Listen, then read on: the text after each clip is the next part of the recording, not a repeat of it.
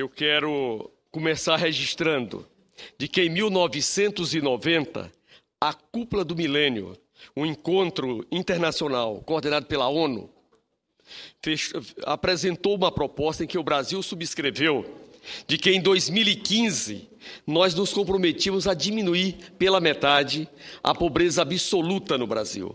Tínhamos ali aproximadamente 26% de toda a população brasileira. Em 2008, o Brasil já atendia essa meta. E se nós pegarmos as políticas públicas desenvolvidas pelo presidente Lula, nós tivemos 35 milhões e 700 mil pessoas ascendendo na pirâmide social. E tivemos mais 29 milhões de pessoas saindo da pobreza absoluta até 2010.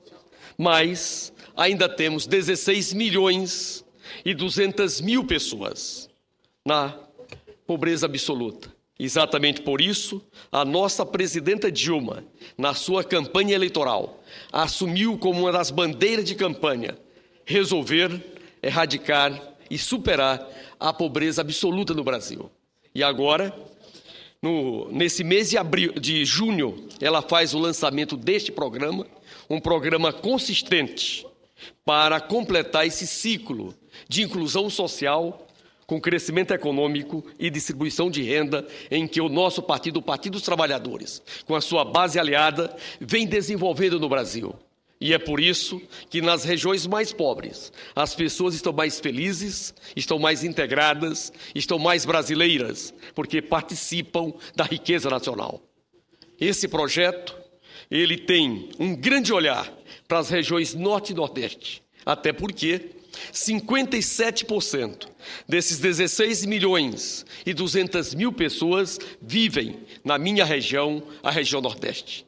E quando a gente observa quem são esses brasileiros e essas brasileiras, na sua ampla maioria, são meninos e meninas com até 14 anos de idade. E na sua casa, o chefe da família é a mulher, em face de uma política desenvolvida ao longo da nossa história e das nossas famílias de que a paternidade não deveria ter uma grande preocupação para com seus filhos. Deixava muito mais sobre a responsabilidade da mulher. Esse debate, junto ao terceiro setor,